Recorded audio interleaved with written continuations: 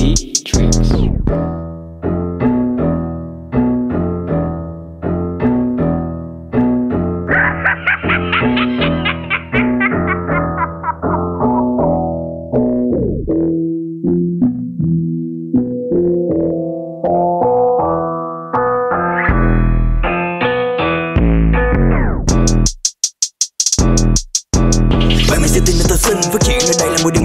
Chỉ nghĩ đi quê hương là bao điều thầm kín. Mới cho là thầm nên in ấn với sâu tim. Hôn là trong on, on the mind. Đứng sau cho vọng mình để tôi cầm lái. Nơi tụi tôi sống hay tụi nó gọi là vùng núi. Nhưng khi đứng ở đây thì anh mới chính là chùm cuối. Ok ok Cuối tuần và trở lại với công việc phong thái Và tao thì lúc nào cũng ngon thiệt. Không có khốn khổ đã từng bán có muốn trở ra kinh doanh làm biết gì khi tiền đổ với trong tiền. Mà mình nói hip hop là cái đời của tao. Gang. Tại sáng như vì sao? Bang Và tao rap không có ai khen.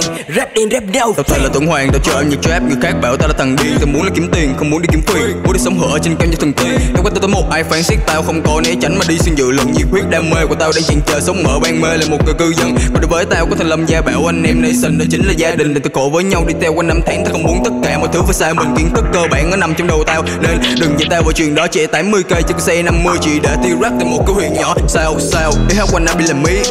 Tao có được mày được như tao. Những mấy bài nhạc ở là free. Vậy tao gật đầu right now. Học sinh cấp ba thì làm sao? Chẳng lẽ tao không biết được nhạc? Không có ảo tưởng với từ cao Có anh em tốt đi cùng nhau. Đừng có nhìn tao như lúc trước Xong rồi tụi mày đem sao ra bây giờ. Wow, Bao nhiêu năm tháng không ra nhạc trở lại với style mới làm tụi nó phải không ngờ. Thằng DNC đã thay đổi và công bắt là cái thứ mà tụi nó và còn đây là mong chờ. Và cái trí tuệ và thông minh mà tao có Bây giờ khả năng để kêu hết tụi hater. Don't man still then Tao cùng với một gang trong trường Tao không không phải là đứa chọn mang bị ảnh hưởng bởi do Mỹ văn hóa của Mỹ đen Cách tao sống cũng như cách tao viết đều có liên tập mà dụ cho kỹ thêm. Gang